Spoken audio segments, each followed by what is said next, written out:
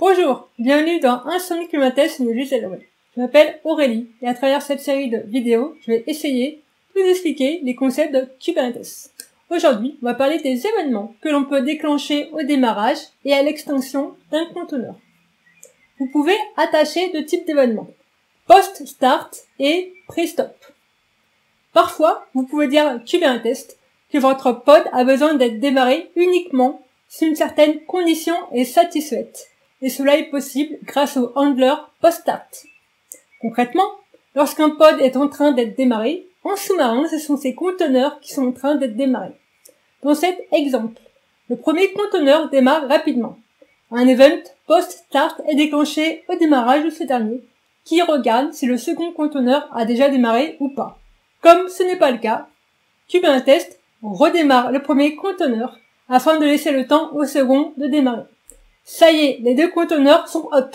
Notre pod peut passer en statut running. Et parfois, vous voulez exécuter des commandes avant que Kubernetes termine un pod. Si le pre-stop handler échoue pour une raison particulière, il enverra un événement de type fade pre-stop hook. Concrètement, juste avant que le pod soit terminé, les conteneurs ont la possibilité d'exécuter une action pre-stop. De manière déclarative, on peut créer un pod qui démarrera uniquement lorsque le conteneur Istio Proxy est prêt. Cette astuce permet d'avoir un pod istioisé, pleinement opérationnel, et d'éviter des erreurs d'impossibilité de se connecter à une base de données, par exemple. Nous pouvons créer un pod avec un conteneur et une commande qui sera exécutée à son démarrage.